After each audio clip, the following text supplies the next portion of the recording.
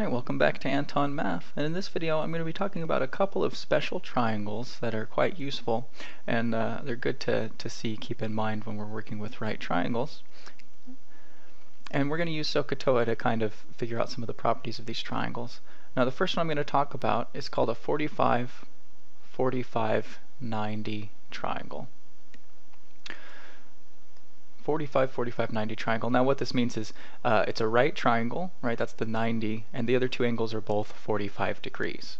So we can think of this triangle, think if we have a square and, and, uh, and we're cutting that square in half, right? That's going to give us that this angle here is 90 degrees, and both of these angles are going to be 45 degrees, right? I, I had these other 90 degree angles and I bisected them. I cut them exactly in half. So these are both going to be 45 degrees here. Now let's just say that this square um, had a side length of x, right? So both of these sides are x. Now I know that from Pythagorean theorem that the sum of the squares of the two smaller sides, x squared plus x squared, that's going to be equal to the square of this third side, right? So x squared plus x squared, that's 2x squared, right? And this is equal to, let's call this side y. So is going to be equal to y squared. Now we can solve this out. We get that y squared is equal to the square root of, or sorry, just y, right? Taking the square root of both sides of that equation I had above, y alone is equal to the square root of 2 times x. Now usually we put plus or minus here and we take the square root of both sides, but when we're working with these triangles we don't need to do that because we know that the sides of a triangle need to be positive. Okay, so this is going to be square root of 2 times x. Right, so in any 45, 45, 90 triangle, we have this relationship. The hypotenuse is always going to be square root of 2 times the smaller sides, and vice versa. Now I want to do a specific example of this triangle that's going to be helpful for us um, for finding out the values of sine, cosine, and tangent for this 45 degree angle. Now keep in mind that this angle here we said is 45 degrees and we know that that's the same thing as pi over 4 radians, don't we? Okay, so let's just say I have this triangle where each of these little sides is equal to 1. And I know from our analysis up here that that means that this hypotenuse is going to have a length equal, equal to the square root of 2, right? It's going to be square root of 2x, but here my x is just 1. It's the square root of 2. So if we can remember this triangle, then it's very easy for us to remember um, the values of sine, cosine, and tangent at pi over 4 just using SOHCAHTOA, right? This gives us that sine of pi over 4 well, sine of pi over 4, that's equal to, from SOHCAHTOA, the opposite over the hypotenuse, right? So here's my angle here. My opposite is 1. My hypotenuse is square root of 2. Now rationalizing that denominator, that gives us the square root of 2 over 2, right? We know that that's our sine of pi over 4. Cosine of pi over 4 is the same. Right here I'm looking at the adjacent over my hypotenuse, but my adjacent and my opposite are the same, right? They're both 1. So this gives me 1 over square root of 2, or square root of 2 over 2. And we can look at tangent in two different ways. Um, I know that tangent of pi over 4 here, I mean one way of looking is that we know that tangent is just sine over cosine. So since sine and cosine are the same, tangent's going to be 1. But just keeping with our theme here, so SOHCAHTOA, tangent's going to be the opposite over the adjacent. In other words, 1 over 1, which is just 1. Okay, so that's my first type of triangle, the 45, 45, 90 triangle. So anytime that we have a triangle that's a right triangle with 45 degrees, we can remember these relationships. It's very easy for us to find out the lengths of all the sides if we just have one of them. If we just have one side, we can just figure out the rest, no problem. Now the other kind of triangle I want to talk about is called a 30, 60, 90 triangle. Right, so 30, 60, 90 triangle, that's going to be a right triangle. A little bit longer on one side than the other. And this is going to be where the angles are 30 degrees, 60 degrees, and 90 degrees. Okay. Now the way that we can think of this triangle, I probably should have drawn it this way first. I'm trying to derive out some of the properties of this. Think about an equilateral triangle.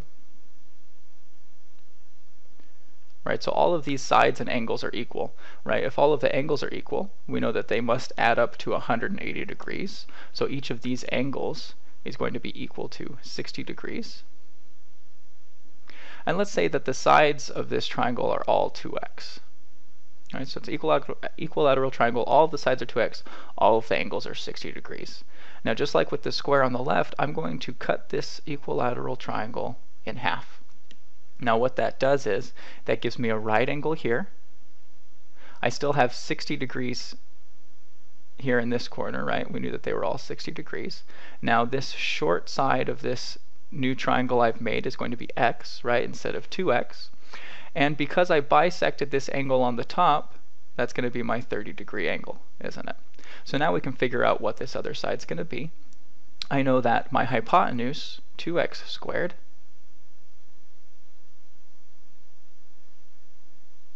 and we'll call this this side y right here. So my hypotenuse is 2x squared. One of my short sides is x, so that's x squared and my other short side is y, so that's y squared, right, using my Pythagorean theorem. Now 2x squared is 4x squared, so I'm going to subtract this x squared onto the other side. So that's just 3x squared, and that's going to be equal to y squared. Remember, we're solving up for y here. So taking the square root of both sides, I get that y is equal to the square root of 3 times x, right? Again, we don't need plus or minus here because we're only looking at the positive values.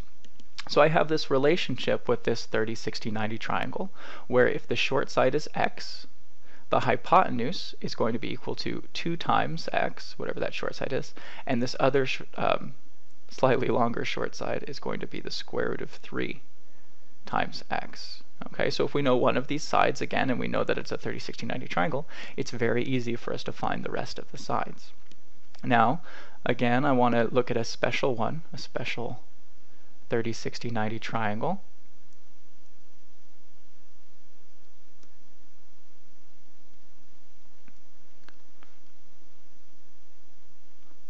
I want to look at the 30, 60, 90 triangle where this short side is 1, my hypotenuse is 2, and the long side is the square root of 3.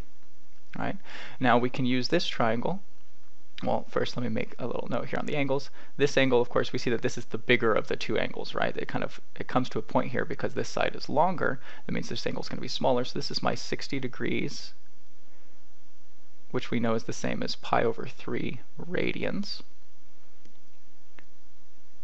And then this side right here, this is or this angle right here, this is my 30 degrees, which we know is equal to pi over 6 radians.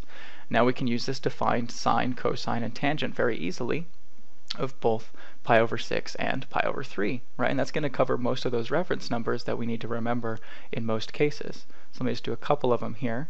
I have that sine of pi over 6 well, sine of pi over 6 is equal to, looking at pi over 6 here, that's my opposite over my hypotenuse. Oh, sorry. Um, opposite here over my hypotenuse. So that's just going to be 1 half. Cosine of pi over 6. That's my adjacent over my hypotenuse, right? So that's the square root of 3 over 2. And tangent of pi over 6 that's my opposite over my adjacent. So that's going to be 1 over square root of 3. Or rationalizing that denominator, we get square root of 3 over 3. Now, I'll just do it up here since I have the space up here. Sine of pi over 3. Right, we're over here now. This is my pi over 3 angle. So that's going to be my opposite, which is root 3 over my hypotenuse. So that's root 3 over 2 cosine of pi over 3. That's my adjacent over hypotenuse, so just 1 half. And tangent of pi over 3. That's going to be my opposite over adjacent. So here just square root of 3 over 1 or square root of 3. All right, so here we have all of those values on the chart, uh, with the exception, of course, of where our angle equals zero, or our angle equals 90 degrees, or pi over two. Um, but those ones we know, um, those ones are pretty easy, right? We just have x's um, one or zero, y is one or zero, and, and we always get one or zero there for all three of these. All right. Now in the next video we're going to start off, I'm going to go over solving a right triangle and that's going to lead into examples. I'm going to be pretty example heavy in this section so the next three videos are actually all going to be example videos um, and that's because understanding how to use this SOHCAHTOA in solving problems is very important. a lot of students get tripped up in problems from this section because they are mostly word problems. Uh, trigonometry has a lot of real world applications and we'll see that in the next several videos. We'll see you there.